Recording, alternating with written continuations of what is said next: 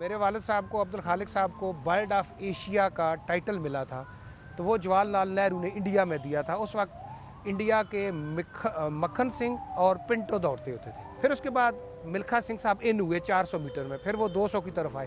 پھر ان کا توتی بولنے لگا اولمپک لیول تک۔ پھر میرے والد صاحب اور وہ دونوں اکٹھے۔ سب سے پہلے جب دوڑے ہیں وہ نائنٹی ففٹی ایٹ میں دوڑے ہیں ٹوکیو میں۔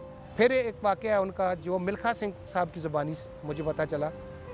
نائنٹی سیونٹی ون کی وار میں میرے والد صاحب قیدی ہوئے جب جنگ میں تو کہتے ہیں، پت، واقعی تیرا باپو اتنے قید ہویا تو جدو مینو پتا چلیا، میں اتنے چلا گیا، میں اتنے جا کے اس ملیا ول خیر پوچھیے تو تیرے باپو نے بارے انتظامیہ نو کیا کہ یہ بہت وڈا ایتھلیٹ ہے ساڈا یہ خیال رکھے اور اس انتظامیہ نے خیال رکھیا۔ اجاز صاحب آپ کو کیا لگتا ہے ملکہ صاحب اور آپ کے والد کیا وہ دوست تھے یا وہ رائبلز تھے؟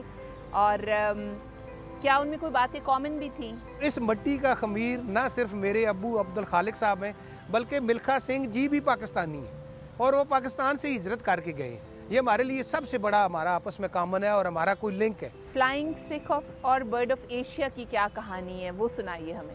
یہ نائنٹی سکس سکسٹی کا واقعہ ہے۔ جب ہندوستان اور پاکستان دوستی کے لیے حکومتوں نے فیصلہ کیا کہ آپس میں ہم میل جل کریں، تو اس کے لیے ایک لاہور میں میٹ منعقد کی گئی۔ ملکھا سنگھ صاحب، اس طرح دوڑے کہ لوگ کہتے ہیں، بکس کہتی ہیں، جو ساتھ دوڑے، جو میرے چچا وہاں موجود تھے، انہوں نے مجھے بتایا۔ ایسا لگا کہ دو سو میں ملکھا سنگھ دوڑے نہیں ہیں، اڑے ہیں۔ تو ان کے جیتنے پر خاموشی تو تھی تھی، میں نے پہلے بھی ذکر کیا ہے۔ لیکن صدر ایوب خان نے ایک جرت مندانہ بات کی۔ وہ آئے سٹیج پر جب ملکھا سنگھ صاحب ان سے نام لینے لگے تو انہوں نے کہا یو آر فلائنگ سکھ تم فلائنگ سکھ ہو.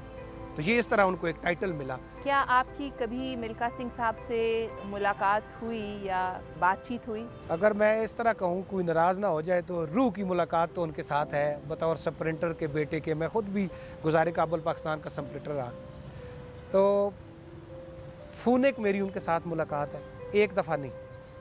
کوئی میری زندگی میں پانچ سے چھ دفعہ ان سے میری فون پر بات ہوئی ہے۔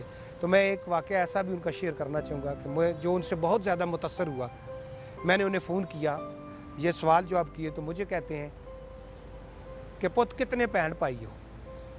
میں نے بتایا اتنے بہن ہیں، اتنی بھائی ہیں۔ کہتے ہیں والدہ زندگی میں نے کہا جی میری ماں زندہ ہے۔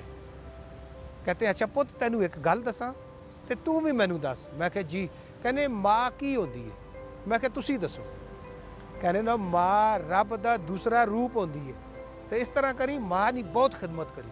تو میرا ہاتھ بن کے ماں نو سلام بھی پیش کری۔ آپ ملکہ صاحب کی فیملی کے لیے کوئی پیغام دینا چاہتے ہیں؟ کیونکہ میں اس دکھن سے گزرا ہوں آج جس دکھن سے ملکہ سنگھ کی فیملی گزر رہی ہے۔ اتنے بڑے باپ کو آج انہوں نے کھویا ہے۔ میں نے جب کھویا تھا تو میری آنکھوں سے آنسو نہیں خشک ہوئے تھے کئی سال۔